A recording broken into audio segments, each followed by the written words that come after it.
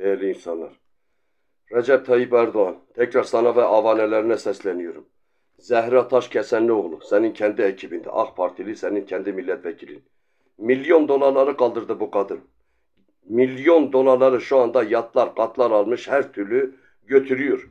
Bununla ilgili de hiçbir dosya açılmadı. Bu milletin paraları habere soyup soğana çeviriyorsunuz. Sen ve Bahçeli yandaşlarınız her türlü kirli işler oluyor. Kimsenin ilgili bir dava açılmıyor. Zehra Taşkesenlioğlu bu ülkenin milyon, katrilyon dolar paralarını götürdü.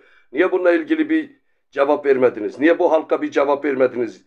Bu paralar nereye gitti diye. Bununla ilgili de cevap bekliyoruz. Zehra Taşkesenlioğlu. Götür bakalım Zehra Taşkesenlioğlu. Bu millet nasıl olsa uyuttunuz götürüyorsunuz.